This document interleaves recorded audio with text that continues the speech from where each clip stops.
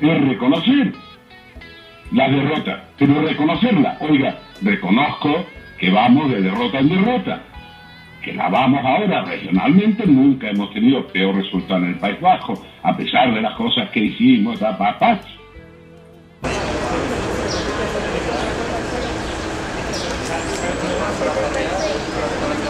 Desde Extremadura. Desde Madrid.